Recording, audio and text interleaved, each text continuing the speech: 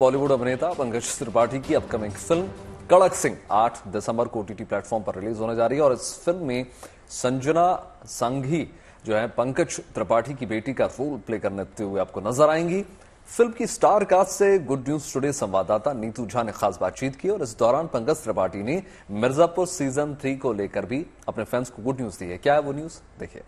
इस वक्त मेरे साथ कड़क सिंह के स्टारकास्ट मौजूद है। कालीन भैया मैं आपको कालीन भैया के किरदार के अलावा और किसी चीज़ में इमेजिन नहीं कर पाती लेकिन जब कड़क सिंह का मैंने प्रोमो देखा सर क्या शानदार एक्टिंग की आपने इसमें?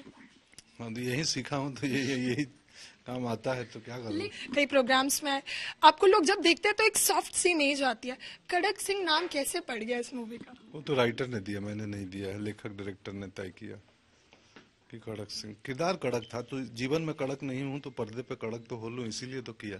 कड़क सिंह तो मुझे लगता है आपके जितने फैंस होंगे उन्होंने इमेजिन भी नहीं किया होगा कि कुछ ऐसा आएगा पंकज सर से।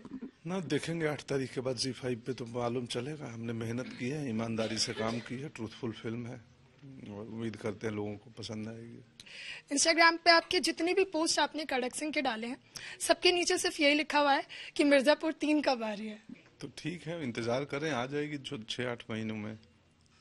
अब वो तो अमेजोन प्राइम बताएगा प्राइम वीडियो कब आएगी मुझे भी मालूम नहीं है बट आ ही जाएगी शूटिंग हो गई है तो आ ही जाए आने ही तय है कब जब आए। अंजना मतलब जब आप आप बहुत अच्छी एक्टिंग करती है लेकिन जब आप पंकज सर जैसे एक्टर के साथ और एक्टिंग करते हैं तो एक थोड़ा सा प्रेशर भी होता है। मज़ा आया क्योंकि इतने वेल रिटन किरदारों को निभाने का मौका मिला हमें। मुझे सर के साथ ऐसे रिलेशनशिप में घुसने का मौका मिला। So for me it's been a huge learning curve it's been like a full circle तो मेरे लिए ग्रैटिट्यूड है और मज़े की बात है। प्रेशर की बात बिल्कुल नहीं थी। कैसे लगी आपको ये फ़िल्म और जो दर्शक आपको अभी सुन रहे हैं, देख रहे हैं, उन्हें क्या कहना चाहेंगे?